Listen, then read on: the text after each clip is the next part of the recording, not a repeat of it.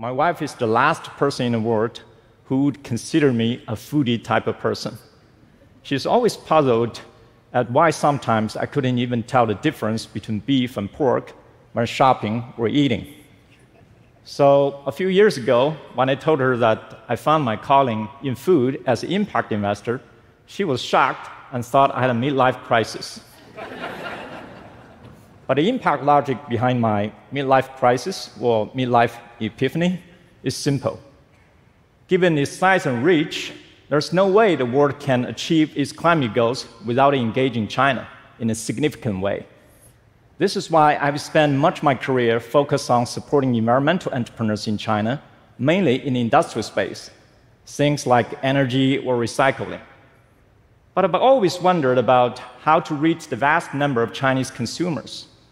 I found my answer in alternative proteins, or what we prefer to call new proteins nowadays in China.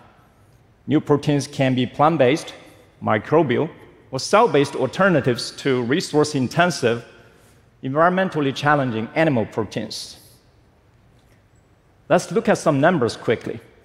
China consumes 26% of the world's meat and 45% of the world's seafood. It's also worth mentioning that China accounts for 43% of the world's pork consumption in the meat category. These numbers are massive, but if you look per person, meat consumption in China is still low, about half compared to the US. For milk, consumption per person is less than half in comparison. And driven by rising incomes and demand, these figures can only go up. Meantime, global investment in innovative foods, with new proteins as the majority, were over $10 billion from 2020 to 2022 but China had only 3.5% of the total, at $362 million. I realized that investing in new proteins should be China's answer. Chinese consumers can be a part of the country's environmental solution, and by extension, part of the global solution to tackle climate change. Without a doubt, it is a huge business opportunity in the long run as well. But how exactly how do we get people in China to embrace new proteins, as has happened in other parts of the world? Growing up in China, I always see food as an integral part of my culture. On all occasions, big or small, there's some banquet. Like when babies are born, loved ones pass away, friends get together, will bid farewell to one another. And we always need so called heart dishes, 硬菜, as a core part of these occasions meaning dishes with abundance and varieties of meat. Chinese people don't just enjoy eating, eating defines who we are and where we stand in society. As a Chinese saying goes, 无肉不欢, meaning that there's no pleasure in eating without meat. Meanwhile, China has a long history with plant based foods, which sounds positive for new proteins, but is actually a challenge old generation mock meat products especially have had a negative perception with mainstream consumers. They are seen as cheap, distasteful, unhealthy alternatives, and are more intended to serve religiously vegan and vegetarian consumers. Environmental and animal welfare advocacy groups have shifted consumer mindsets in the West, and eating plant based meat is considered morally positive. But in China, mainstream consumers aren't easily swayed by the moral argument for now. China's consumers are also highly demanding regarding taste, price, and convenience. China is incredibly diverse in terms of style of cooking and food applications. Basically, each province or region has a style of cooking. There's Beijing cuisine, Shanghai cuisine, Hunan cuisine, Sichuan cuisine, and Cantonese cuisine, to name a few. And unlike Chinese restaurants in the US, these regional cuisines are not just different in the name, they do taste different.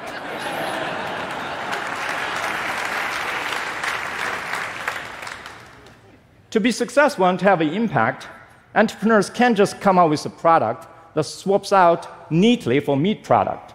Alternative products will need to be tasty, affordable, and regionally appropriate. This calls for investments in innovation, research, and development. Moreover, we need new distribution channels beyond specialty stores and vegetarian restaurants, and they must be widespread nationwide, especially in China, where online selling plays an increasingly dominant role. And with young generation mainstream consumers, it certainly helps engage high end chefs to put new proteins on their menus. And these new products need personality, brands that seem hip and compelling to younger consumers.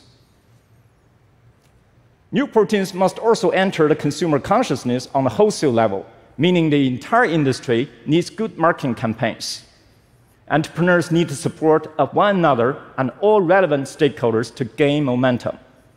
All of this requires investment and patience, of course. The good news is that we're starting to see some progress. For example, look at the alternative dairy company Oatly. The Oatly Tea Master, an oat based drink developed in China, replacing cow's milk for milk tea, was introduced to the Chinese market in March 2022. By the end of 2022, the product had entered over 50,000 tea stores around China, with 20 million units sold.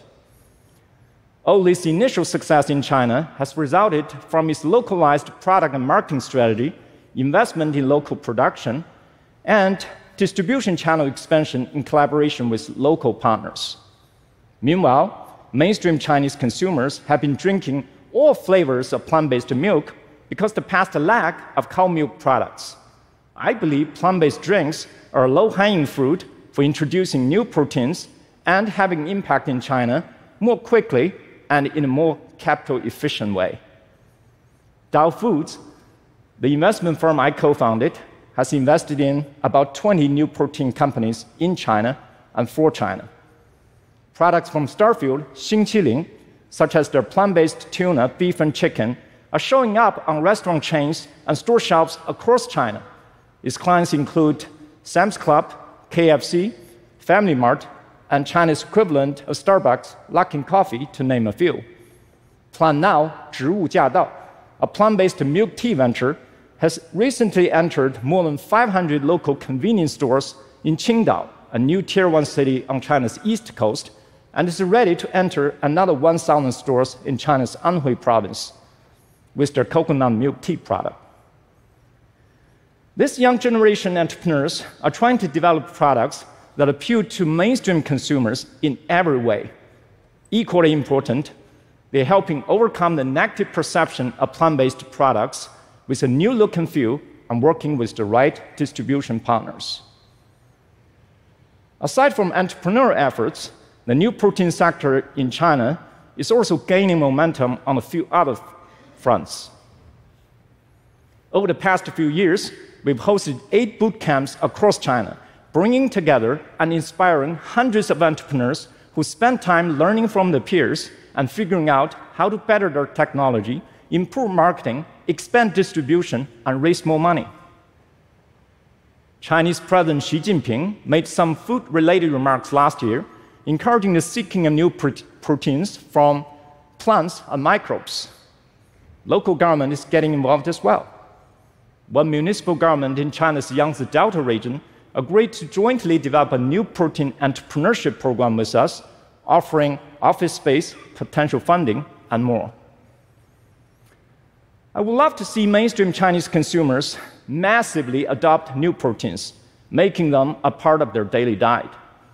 I don't expect consumers to give up on animal products entirely, but having more protein diversification and choices will allow them to weigh factors like the environment and climate impact, to make more balanced and informed food decisions.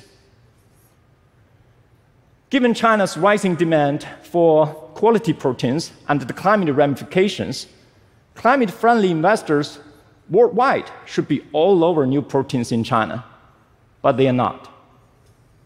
Many international investors continue to shy away from China. Maybe geopolitics is the problem. Perhaps they are unsure if they'll be able to get their money out of China if they need to. Or it could be the flawed assumption that China's problem is so unique that it requires solutions led by Chinese people alone. But whether you're an investor, entrepreneur, or a consumer, if you want to be a hero and game changer in this space, show me the money. Even if just one meal at a time, one product at a time, or one investment at a time. China is indispensable in addressing global climate challenges, and we should work collectively to make China part of the global solution. Let's all strive beyond, do the impossible, always look at the upside, and keep exploring the way, aka the Tao, to get there. For the one and only planet we share and call home, we must do it, we can do it, and we will. Thanks, everybody.